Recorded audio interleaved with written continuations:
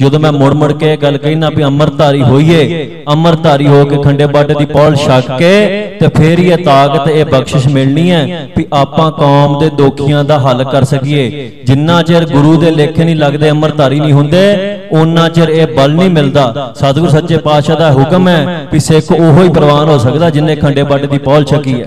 ਸੋ ਹੁਣ ਹਾਲਾਤ ਕੀ ਨੇ ਸਾਡੇ? ਇਹਨਾਂ ਨੇ ਕੁਰਬਾਨੀ ਕੀਤੀ ਹੈ। ਇਹਨਾਂ ਦੀ ਯਾਦ ਦੇ ਵਿੱਚ ਅੱਜ 38 ਸਾਲਾਂ ਬਾਅਦ ਇਕੱਠੇ ਹੋ ਰਹੇ ਆ 36 ਸਾਲਾਂ ਬਾਅਦ।